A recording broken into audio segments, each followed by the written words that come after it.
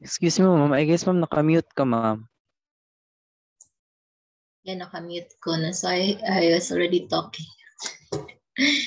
Again, so please go to your LMS and indicate your attendance there. And if you want uh, the previous lecture discussion, it's already available in the LMS.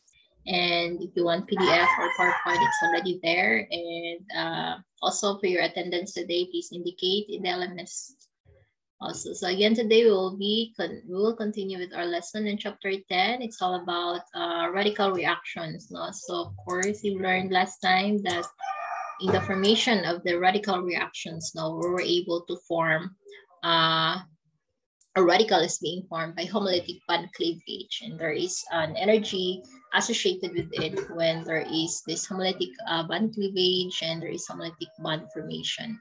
And uh, last time we talked about the geometry of our radicals, uh, alkyl radicals in particular, inner radical, carbon radical. And we've learned that for the alkyl radicals, it's similar, the structure, geometric structure is similar to what we have seen with carbocation it assumes uh, an sp2 hybrid orbitals, and of course, we expect the geometry to be uh, trigonal planar. And the radical, katong unpaired electron on the alkyl radical, no, is situated on the unhybridized p orbital.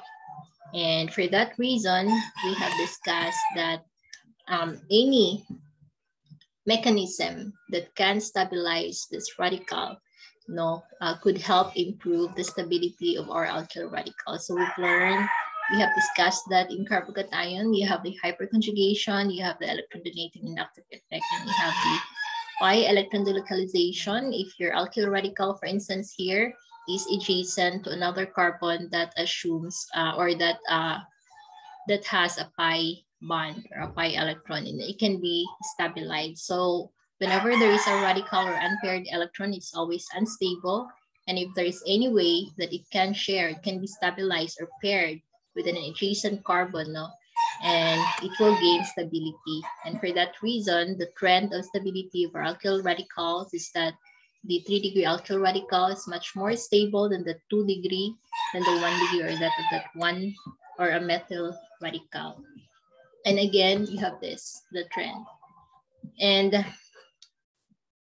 Again, the reason for that is due to the hyperconjugation. The more CH, adjacent CH that could undergo hyperconjugation with your radical, the same way that it could stabilize the carbocation no?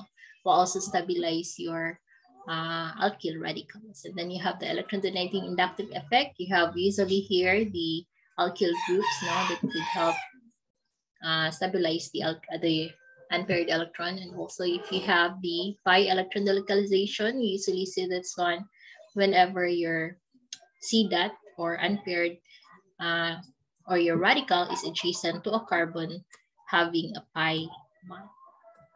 Okay, so for today we will be talking on the reactions uh, that generate tetrahedral chirality centers. So when a chiral molecule, what is that a chiral molecule? A molecule first that is not chiral. Uh, we've learned that in organic chemistry, uh, in your first organic chemistry, that chiral molecules are those uh, centers or chiral centers, chiral carbon that is bonded to four different group of atoms. So when you have a chiral, a chiral with an A before the chiral, it's not chiral. A chiral molecule react to produce a compound with a single tetrahedral center, what will happen?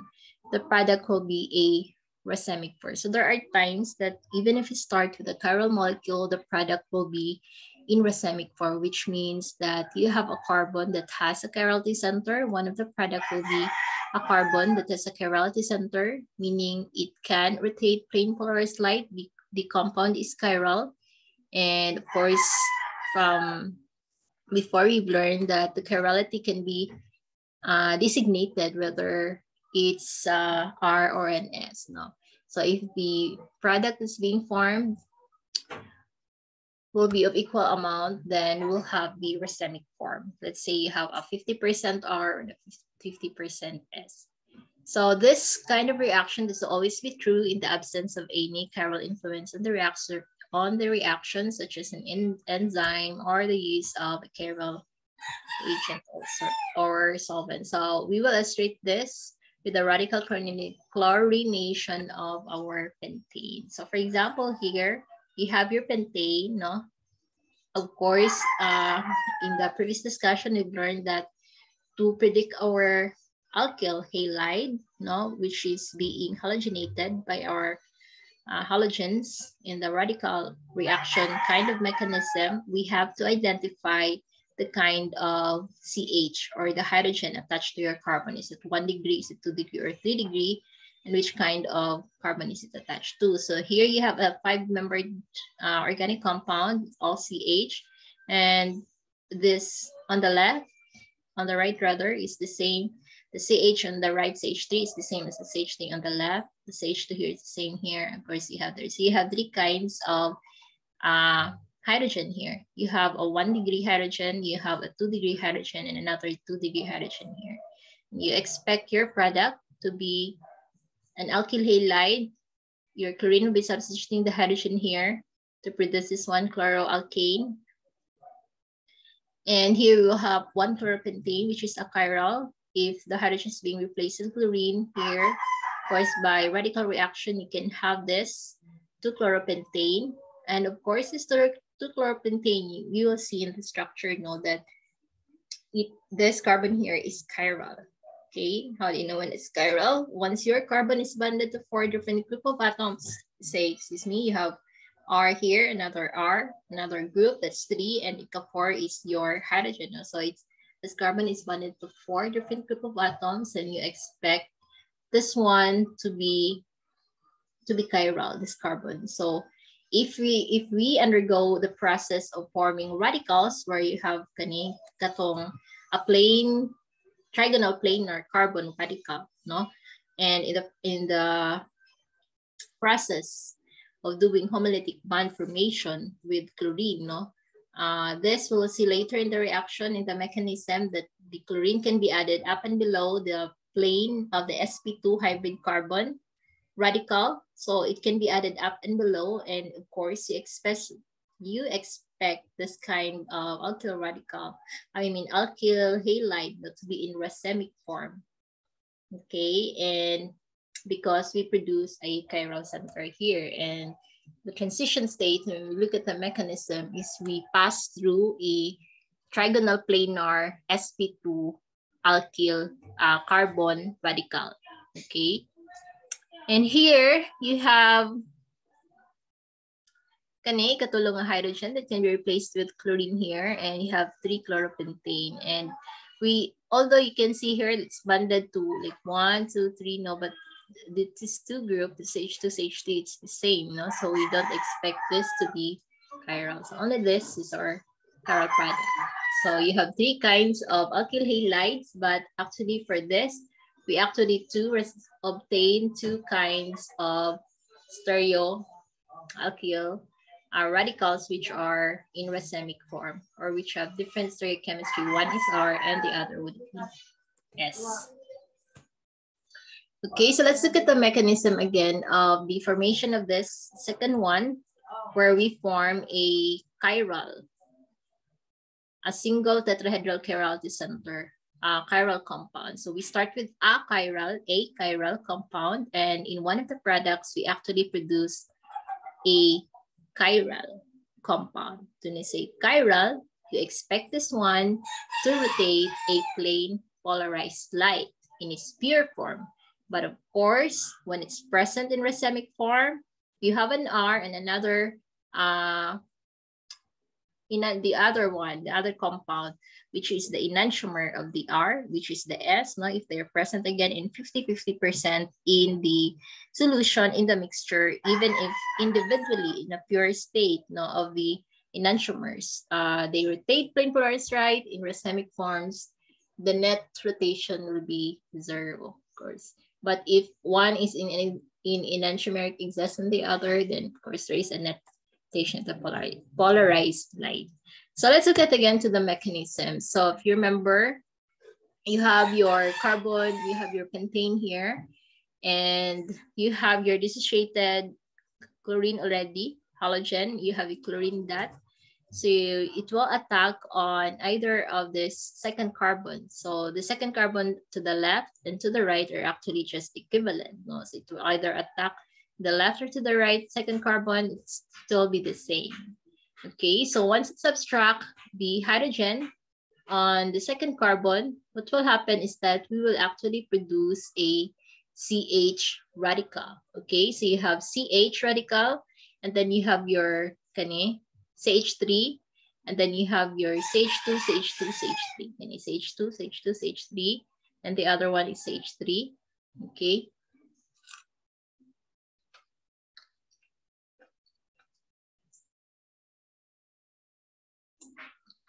Nangisnak na mo? Edit lang. So here you have, again, your CH. Okay, ma-abstract man ang isa, di ba? CH2 man ni ma-abstract ang isa. You will have your CH na. And then you have your CH3. And then you have your CH2, CH2, CH3. Okay, so tulo na lang ka atoms na nga carbon will be bonded to. Okay, and because you have a homolytic cleavage, you will form actually in this process an HCl. Once this Cl dot abstract the hydrogen here, what is uh, the other product will be the alkyl radical. And here for this alkyl radical, it assumes a trigonal planar shape.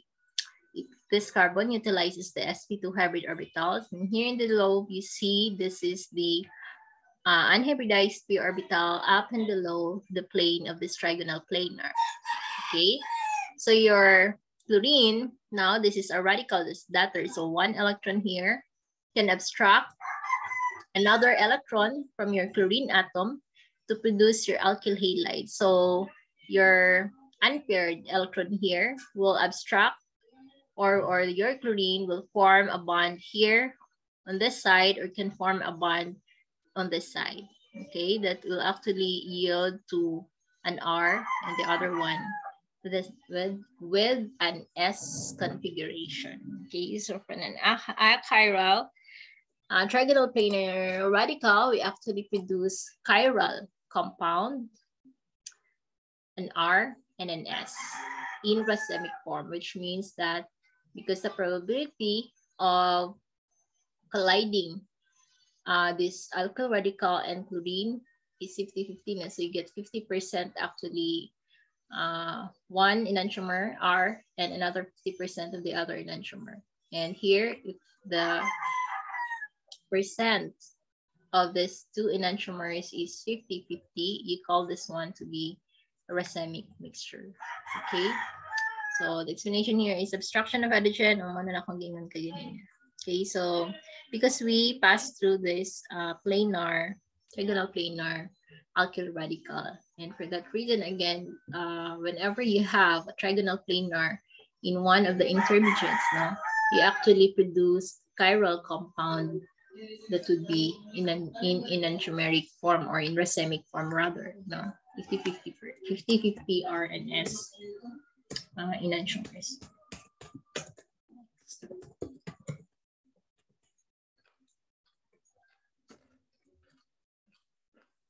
Hmm.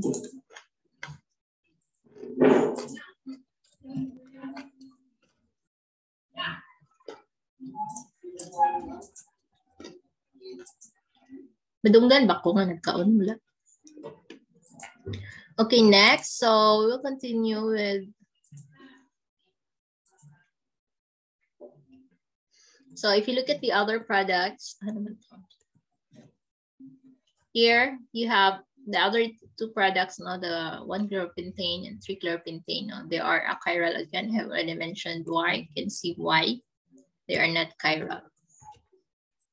So neither one chloropentane or three chloropentane contains chiral center, but only the two chloropentane, the one that we have discussed, uh, will be obtained in racemic form.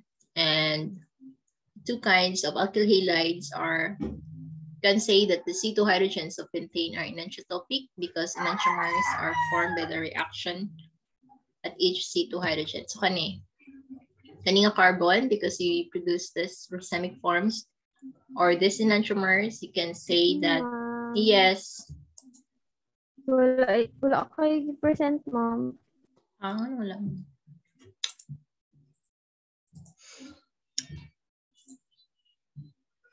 Wait lang.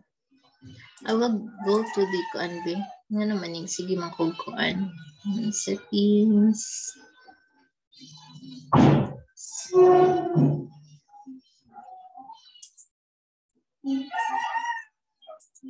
Settings automatically present.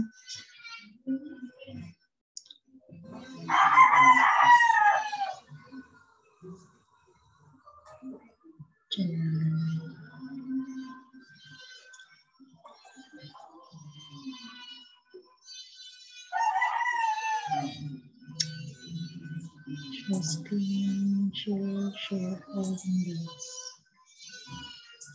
Okay.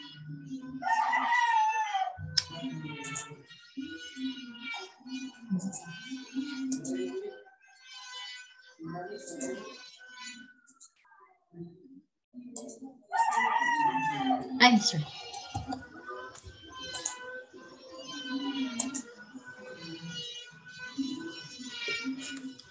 Okay, so again, this uh, carbon here, second carbon no, in this example reaction, this carbon here, can it A, because it produced uh, the racemic form, two enantiomers, the R and the S. We call this CH, the carbon here, CH, to be enantiotopic because the reaction would result to uh, produce enantiomers and in particular in racemic forms. Now let's look at the generation of a second chirality center in a radical hal- halogenation. Let us now examine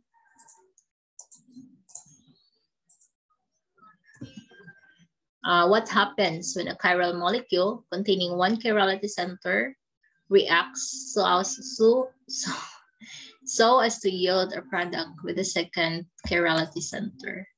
So let's have an example. Uh, uh, let's say what happens when we have your S-2-chloropentane like this one, our product earlier. Uh, what happens to this when this undergoes chlorination at carbon 3? So this is carbon 1, carbon 2, carbon 3. So other products are formed, of course, by the chlorination of other carbon atoms. So you have to remember you know, that when they do chlorination or halogenation reaction using a radical, it's not very selective to particular carbon. Depending on the number of moles of our halogen, we can actually obtain uh, many substitutions uh, at any, uh, at non-particular carbon, no? Uh, substituted with chlorine. So let's happen. Let's see what happens on, on carbon three when this is uh, this product will produce another alkyl halide, no, disubstituted alkyl halides. So the products of the reactions are actually okay. You have here. Let's say this one is an S, no, the reaction. So it's carbon one, carbon two, carbon three, and if it reacts on carbon three, what will be our product? if we start with the one enantiomer, no, the one enantiomer of the earlier reaction, and let's proceed with further halogenation reaction. So what will happen sa ikaduha nga on carbon 3 if this is if this carbon 3 would further be halogenated with chlorine. No? So if this is S, we actually, this one, we can also obtain another uh, enantiomer. And our enantiomer will be, can either be um, you have 2S, 3S, 2, 3, 2, 3 dichloropentane, and you have 2S, 3R, uh, 2, 3 dichloropentane. So your first enantiomer or chiral center is in the 2S, katong first enantiomer nga 2S, in the 2S form, in the S form. And if the third carbon will react with another halogen, chlorine in particular, no, we can actually obtain another chiral center, which will be in the 3S or in the 3R. So let's look at look at uh, the structure. you No, later we'll look at the structure. So these two compounds that we have mentioned, this 2S, uh, 3S, 2S, 3R are actually diastereomers. They are not enantiomers. Katong kaganina nga 2S and 2R is what we call as the enantiomers. They are simply mirror image of each other. Kani, kani, the mirror image of this is the R uh, 2 chloropentane. They are enantiomers. But when this third carbon will be halogenated further with chlorine. Now we actually produce kani. And these two compounds are, we call as diastereomers. They are not, they are stereomers, they are stereoisomers, but they're not mirror Just learned that in the previous lecture. So what happens? They each resulted by substitution of one of the diastereotopic hydrogens. So carbon T will further react and uh, the two D-isomers are not produced in equal amounts because what happens, the intermediate radical itself mm-hmm. is chiral and reactions of the two phases are not equal likely. So when they produce, kani, when we have these D-isomers 2S3S, nga 2,3-dichloropentane, the 2S3 are nga 2,3-dichloropentane, they are not produced in equal amounts. Unlike katong earlier, bitaw nga we produce 50-50 uh, katong 2S and 2R nga 2-chloropentane. Okay, but this this time, katong second halogenation na, they are not produced in equal amounts. Why is that? Because the intermediate radical itself is chiral and the reactions of the two phases are not equally likely. So what happens is the radical reacts to greater extent at one phase than the other, and that is the presence of the T center at C2 in the radical. Let's look at here. Ano. Okay, so here you have your 2S, your 2S here, 2 chloropentane in the S form. You get the S form. Is it really in the S form? You have, you can view from this part, no? So hydrogen, you have one, two, three. So this is S actually. You view from this, kani, chlorine will be on your right you view from here, chlorine will be in your light in your upper right, sage will be in your upper left, and this is your kani. So you have one, two, three. So this is on the S. So you have S the chloropentane, and let's have a radical halogen, Cl dot to react with this. So it will abstract the hydrogen here to produce your CH kani and CH that up here. Okay.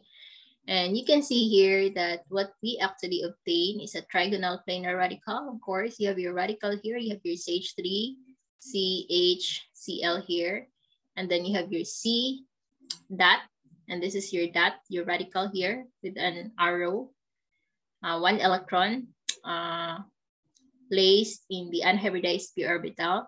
And then you have your CH2, CH3, okay? So here you have, since you have a chiral center, this one is a trigonal planar radical, which is chiral because one of the carbon actually is chiral.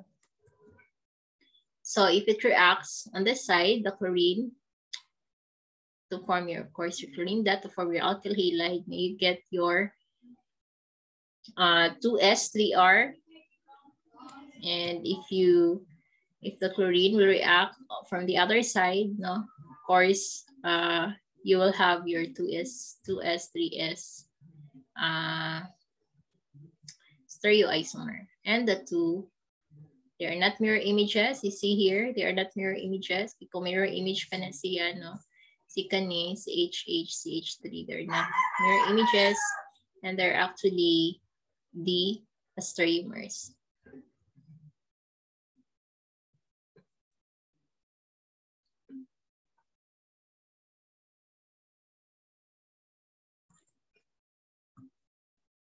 Okay, so this chiral, chiral radical, this one can react with chlorine at one phase and the other, this phase, and again, this phase, and these two compounds are diastereomers and they are not produced in equal, equal amount. Each product is chiral and each alone will be optically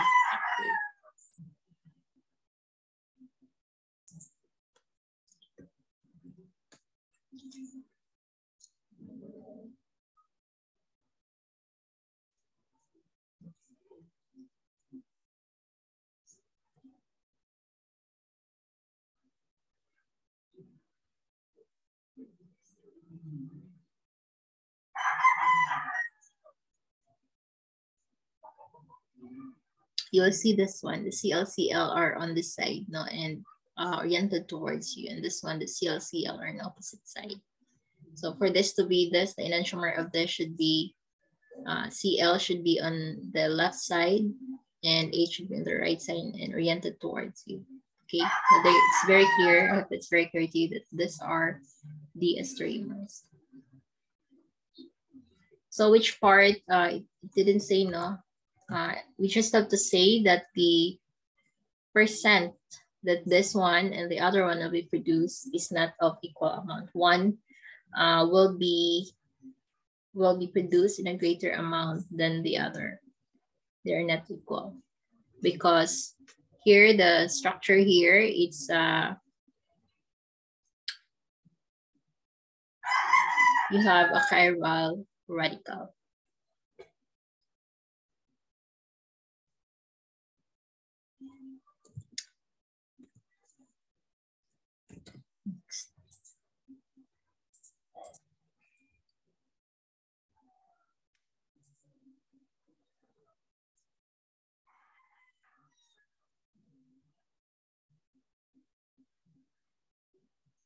So I just want to emphasize this one. Couldn't predict, however, couldn't predict, predict, however, which part or which phase, no, from the trigonal planar radical, chiral radical, no, will produce uh, at a, will produce an alkyl halide at a greater amount. We cannot easily predict, but we just have to say that kaning kani siya nga mga stereoisomers uh, new chiral compounds being formed or are not produced in equal.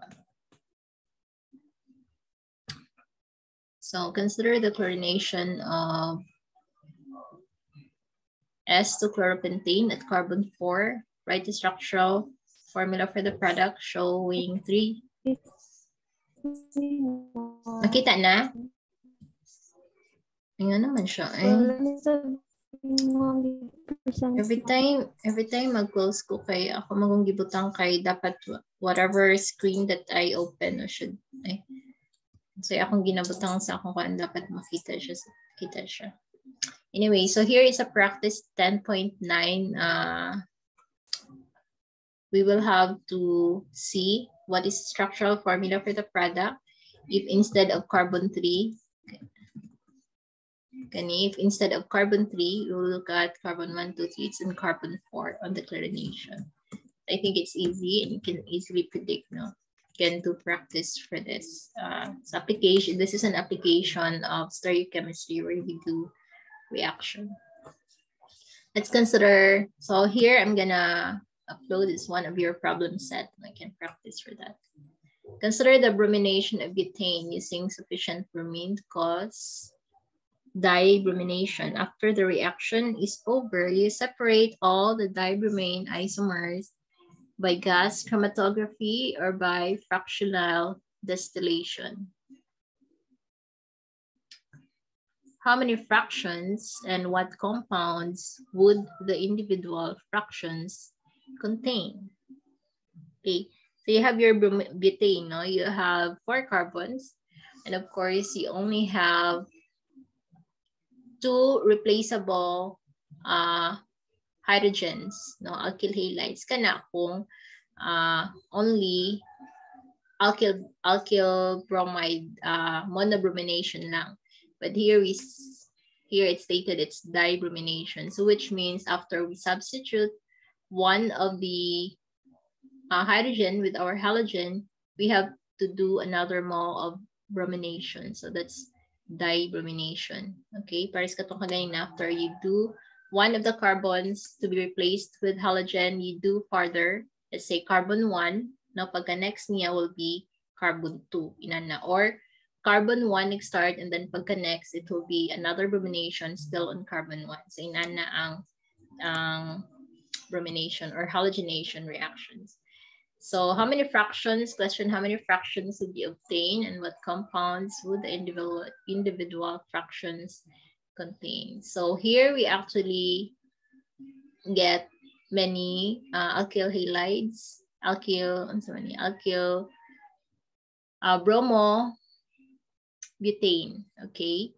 So you can have 1, 2 or 1, 1 dibromobutane. And we can actually, the isomers of dibromobutane, we can actually separate that one with gas chromatography or we can separate that one with fractional distillations. Hopefully in the laboratory, you know, we can do fractional distillation or even just a simple distillation setup. So the question, how many fractions would you obtain and what compounds the individual fractions be? Okay.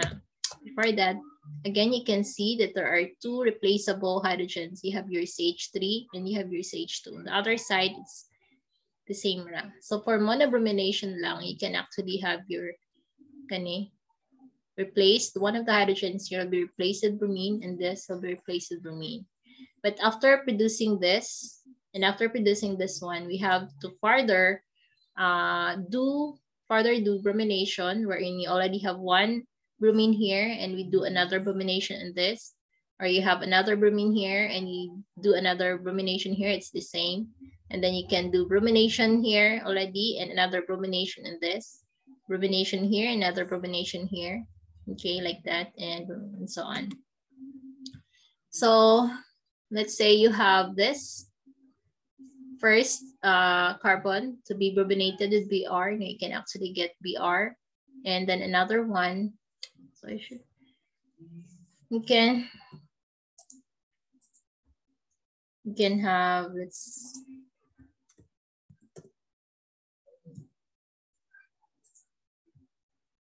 unless you can have this and you can actually have your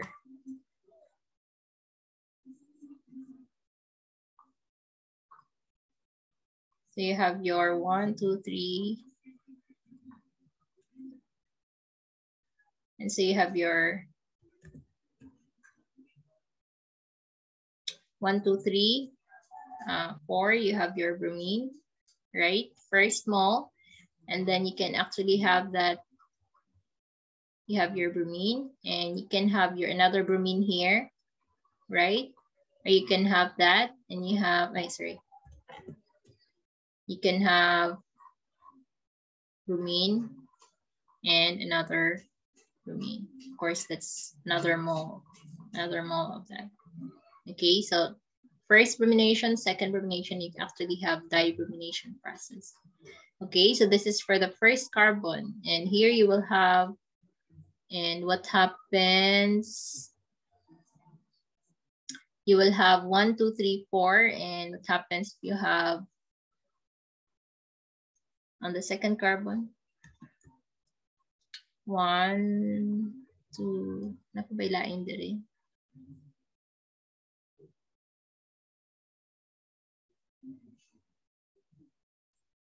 Okay, dirata, and then you have,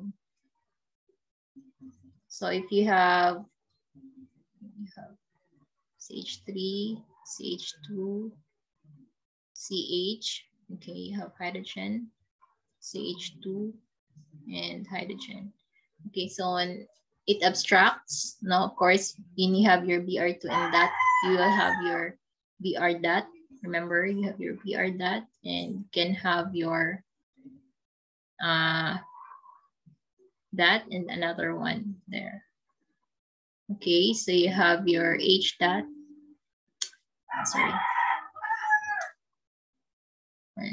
BR BR. There is this homolytic cleavage of course. Excuse me, ma'am. Yes. Ay, wala na ko na-share na food. My goodness. Wala, na, nakashare man pero wala naglihok. No, no, I'm missing paint actually. So, nakita na ninyo. Okay na, ma'am. Thank you.